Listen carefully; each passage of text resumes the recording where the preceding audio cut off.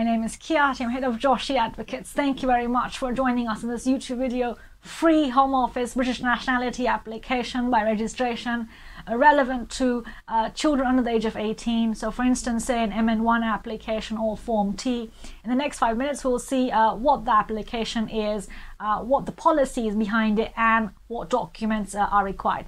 So, one, uh, say a person is making a British nationality application for their child under the age of 18 MN1 or Form T, but uh, they don't have sufficient funds uh, to pay the Home Office application fee. For instance, the MN1 is £1,012 plus the biometric appointment.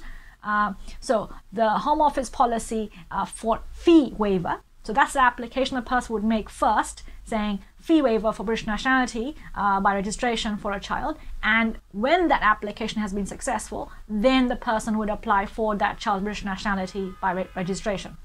So the application is fee waiver for British nationality by registration for a child under the age of 18. Now, the fee waiver policy is more or less the same as uh, when one would apply for a fee waiver in respect of uh, a visa application. Uh, Home Office essentially wants to know uh, what the income is, uh, what the expense is, and supporting bank account statements, pay slips. Now, let's look at a few situations so you understand. Uh, for instance, let's say there's a parent in the UK or parents, uh, and uh, they've been illegally living in the UK, and their child was born in the UK and has lived the first 10 years of their life in the UK, and that child is under the age of 18 when they make this application for British nationality by re registration. Now, because the parents are uh, unlawfully living in the UK, most likely they don't have bank account statements because they are not allowed to live and work in the UK. So they would apply saying, look, we're not allowed to live and work in the UK. We haven't got a bank, any bank account uh, and there's no money. Home Office will give a fee waiver for that and then the child would make the British nationality application by registration and not pay the Home Office fee. A second situation would be, for instance, let's say the parent or parents are uh, living in the UK lawfully, uh, they're British settled or limited leave to remain, whatever their status is, and they are uh, working so many jobs or one or two or whatever number of jobs. And the money coming in is being spent out on uh, rent bills etc uh, so the home office would see the pay slips bank account statements from all bank accounts.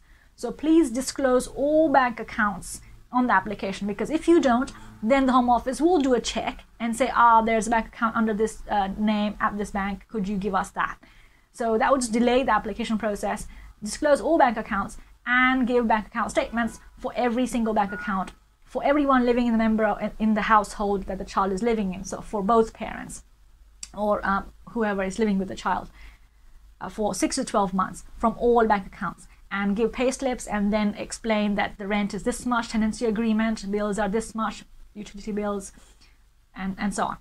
And then let's look at another situation where there are parents or parents and they are reliant on public funds. So again, all the money coming in is being spent out. Uh, again, give bank account statements from all bank accounts. Even if you are not using that bank account, still give it to show that, look, I have this bank account, but it's not being used, but here it is for the last six to 12 months and there are no transactions, right? So Home Office knows. Rather than you thinking, because I don't use it and there's no money in there, I should not show it. Um, no, the Home Office will just come back and say, give us his bank account, uh, and then that would again delay the process. So those are the documentary uh, requirements and uh, the policy as to how the Home Office assesses fee waiver, uh, looking at the domestic circumstances financially for uh, people living with a child uh, in that household.